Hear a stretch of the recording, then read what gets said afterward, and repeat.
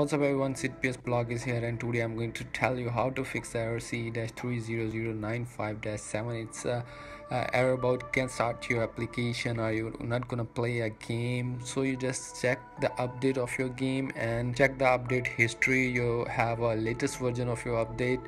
So you just go to the uh, power and just turn off your PlayStation 4 and wait for the turning off completely preparing the turn off your ps4 and when you turn off your playstation 4 just press a power button until the second beep then leave and here you get the safe mode and you just connect your DualShock with the ps4 with the usb cable and then press a ps button then it will be work.